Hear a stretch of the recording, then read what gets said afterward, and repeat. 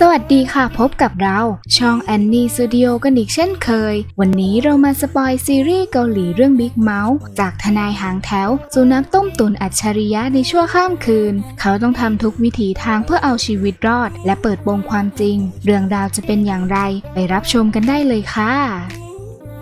เปิดเรื่องมาชายปริศนาขุดหลุมฝังทองคำจำนวนมหาศาล และมีข่าวออกมาว่า หัวหน้าเอเย่นต์ชาวเอเชีย ผู้จำหน่ายยาเสพติดที่ผลิตในโคลัมเบีย ถูกเปิดโปงแล้วว่าเป็น Big Mouse ได้ขโมยเงินของสมาชิก NR Forum มูลค่าถึง1 0 0 0 0แสนล้านวอน Big Mouse เป็นแก๊งอาชญากรรม แหล่งจำหน่ายโทรศัพท์ใช้แล้วทิ้ง และรถไม่มีทะเบียนเจ้าใหญ่ที่สุด รวมถึงพวกอันธพาลที่เริ่มบังคับใช้โครงการอพาร์ตเมนต์เมืองใหม่ และการจำหน่ายยาเสพติด หรือแม้แต่แต่เงินบริจาคหาเสียงที่ผิดกฎหมายกว่า 50,000 ล้านวอน ถูกเปิดเผยว่ามีส่วนเกี่ยวข้องกับบิ๊กเมาส์ทำให้สำนักงานอายการและตำรวจได้จัดตั้งหน่วยสืบสวนร่วมเพื่อจับกลุ่มขึ้นมาแล้วพักชางโฮพระเอกของเรื่อง เป็นทนายปลายแถวที่มีอัตราการชนะคดีไม่ถึง 10%เป้าหมายในชีวิตของเขาคือประสบความสำเร็จ ใช้ชีวิตอย่างมีความสุขกับครอบครัวที่เขารักไปนานๆ ความเป็นธรรมในสังคมน่ะหรอ เป็นเรื่องเลวไหลทั้งเพ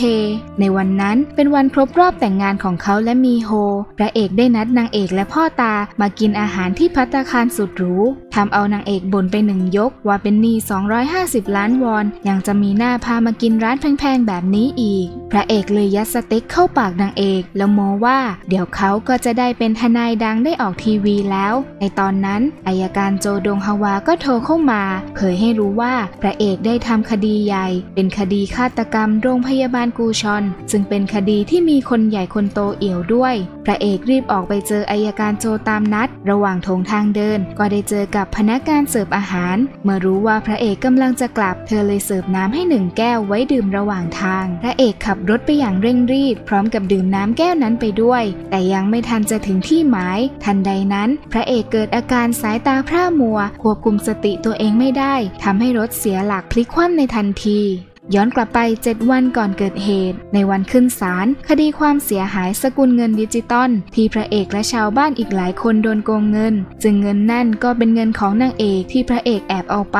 นางเอกขู่พระเอกว่าทำไมชนะคดีนี้ก็ไม่ต้องกลับมาที่บ้านอีก แต่พระเอกก็ขี้โม้ว่าถ้ามีทนายที่เก่งกว่าเขาก็เข้ามาได้เลยพอตาก็เข้าข้างลูกเขยสุดที่รักว่าจะไล่พระเอกออกจากบ้านได้ไง นี่ไม่ใช่บ้านนางเอกสักหน่อย เมื่อพระเอกและพ่อตามาถึงศาลพอตาถามพระเอกว่าได้ยัดเงินให้ผู้พิพากษายุนหรือยัง ซึ่งพระเอกก็ทำไปแล้ว และเงินนั่นก็เป็นเงินที่ไปกู้มาอีกที และกำชับพ่อตาว่าอย่าบอกเรื่องนี้กับนางเอกเพราะถ้าชนะคดีแล้วได้เงินคืนก็สบายแล้ว แต่เมื่อถึงเวลาเข้าจริง มีการเปลี่ยนผู้พิพากษา แถมฝ่ายจำเลยก็เปลี่ยนทนายใหม่ยกชุด จนสุดท้ายพระเอกก็แพ้คดีทำให้ชาวบ้านโกรธมาก ด่าพระเอกว่าได้ฉายาบิ๊กเมาส์เพราะทำงานไม่ได้เรื่อง ดีแต่พล่ามไปเรื่อยแล้วก็รุมถึงกันอย่างบ้าคลั่ง โดยที่พ่อตาช่วยอะไรไม่ได้เลย ทางฝั่งนางเอก เธอเป็นพยาบาลสาวที่มีสามีเป็นทนาย ดูเหมือนว่าชีวิตของเธอจะเพียบพร้อมไปหมดทุกอย่าง ซึ่งมันก็ตรงกันข้ามเลยทีเดียว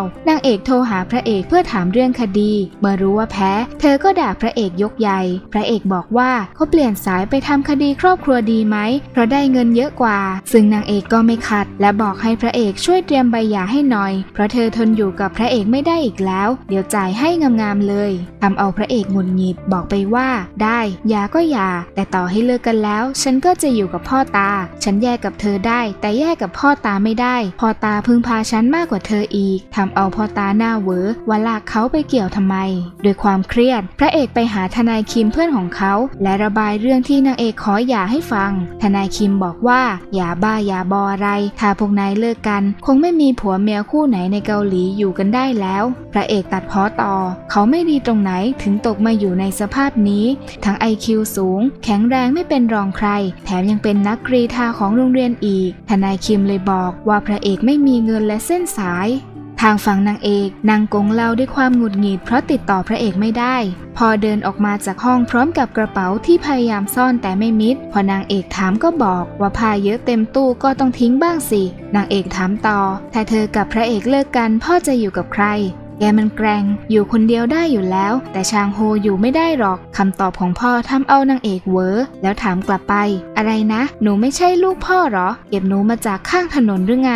พ่อเลยไปต่อไม่ถูกบอกไม่รู้ไม่รู้ ไม่รู้ไม่รู้ แล้วเดินหนีออกมานางเอกได้แต่คิดว่าลุงข้างบ้านคงมองว่าเธอเป็นสะพ้ยบ้านนี้ จากนั้นพอตาก็เอากระเป๋าเสื้อผ้ามาให้พระเอกที่รออยู่ด้านนอก ช่วงนี้พระเอกคงต้องนอนที่สำนักงานไปก่อน และขอร้องให้พ่อตาช่วยคุยกับนางเอกให้ใจเย็นลง แต่ในตอนนั้นก็มีสายโทรเข้ามาพอดี เป็นสายจากโชเวโดฮานายกเทศมนตรีเมืองกูชอน อยากจ้างพระเอกว่าความคดีอาญาให้ พระเอกได้ไปตามนัด นายกบอกว่าคดีนี้เกี่ยวข้องกับคนที่เขารู้จักอุบัติเหตุรถชน และมีคนพบศพศาสตราจารย์ซออยู่ท้ายรถคนที่อยู่ในรถคือศัลยแพทย์ฮันแจโฮ มีความบาดหมางกัน เพราะแย่งตำแหน่งพออโรงพยาบาล อีดูกึนทนายประจำโรงพยาบาล แถมยังทะเลาะกันเรื่องข้อพิพาททางการแพทย์ และจองแชบง ลูกชายประธานมูลนิธิมหาวิทยาลัยกูชอน และเป็นชู้กับเมียผู้ตาย ทุกคนถูกจับกุมในที่เกิดเหตุในฐานะผู้ต้องสงสัยหลัก ต่างฝ่ายต่างกล่าวหากันว่าเป็นฆาตกร และทุกคนก็มีแรงจูงใจที่น่าเชื่อถือหมดสามคนนั้นวาานให้นายกหาทนายให้ โดยมีเงื่อนไขว่าจะต้องเป็นทนายที่ไร้น้ำยา และว่านอนสอนง่าย เพราะวางแผนพิจารณาคดีของตัวเองไว้ และซื้อตัวผู้พิพากษาไว้บ้างแล้วหรือจะพูดง่าย ๆ คือ พวกนั้นต้องการคนออกหน้าไม่ใช่ทนาย ทีแรกพระเอกจะปฏิเสธ เพราะไม่อยากแปะเปื้อน แต่นายกก็บอกว่า กล้องหน้ารถที่บันทึกเหตุการณ์ตอนเกิดอุบัติเหตุนั้นหายไปถ้าหาเจอก็จะรู้ว่าคนร้ายคือใครกันแน่ เผยให้รู้ว่าความจริงแล้ว นายกต้องการกำจัดสามคนนั้น เพราะพวกนั้นทำให้เขาได้เป็นนายกรัฐมนตรี แต่กลับชอบเข้ามาแทรกแซงเรื่องการบ้านการเมืองไม่เลิก เลยจะใช้เรื่องนี้ตัดขาดกันสักที ซึ่งหมายความว่า นายกอยากให้พระเอกแซงเป็นสายลับสองหน้าทำทีว่าช่วยพวกนั้น นายกมอบถุงเงินให้กับพระเอกพระเอกบอกว่าค่าตัวเขาแพงกว่านี้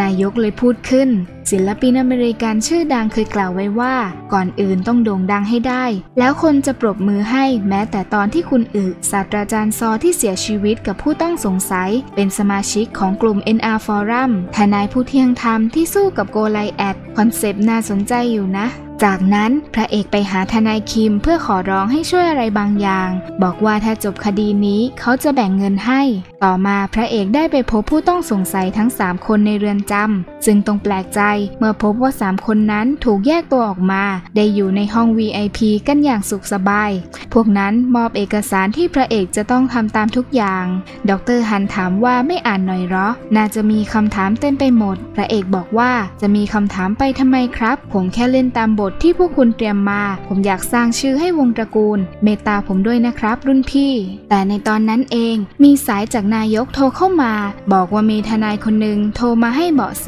เรื่องกล้องหน้ารถ ซึ่งความจริงแล้วก็เป็นแผนของพระเอกที่ให้ทนายคิมช่วยโทรแจ้งเบาะแสกับตำรวจทำให้ทั้ง 3 คนเกิดอาการร้อนรุ่มขึ้นมา และบอกให้พระเอกกลับไปก่อน จึงในระหว่างที่พระเอกเดินออกมา เขาก็แอบทิ้งแก้วกาแฟที่มีเครื่องดักฟังลงในถังขยะ แล้วได้ยินเรื่องที่พวกนั้นคุยกันว่า ดรฮันฝากกล้องหน้ารถไว้ที่เมียของเขา ตอนนี้เธอถ่ายรายการทำอาหารอยู่เลยติดต่อไม่ได้ อีดูกึนกลัวว่าอายการโจจะได้หลักฐานไป เลยถามจองแชบงว่าทำลายคลิปนั้นทิ้งเลยดีไหม แต่แชร์บงกลับบอกว่าไม่ได้ นั่นมันหลักประกันของเราเลยนะเว้ย ถ้าไอ้เวรนั่นกลับลำขึ้นมา พวกเรานี่แหละจะซวย ทำให้พระเอกรู้ว่าจะต้องมีผู้สมรู้ร่วมคิดอีกคนอย่างแน่นอน จากนั้นพระเอกโทรบอกนายก นายกเลยจะไปหาเมียด็อกเตอร์ฮันด้วยตัวเอง เมื่อไปถึงสตูถ่ายทำรายการก็พบว่ามีชายชุดดำบุกรุกเข้ามา ประตูห้องเปิดไม่ได้ พระเอกที่ตามมาทีหลัง พังประตูเข้าไป และพบว่า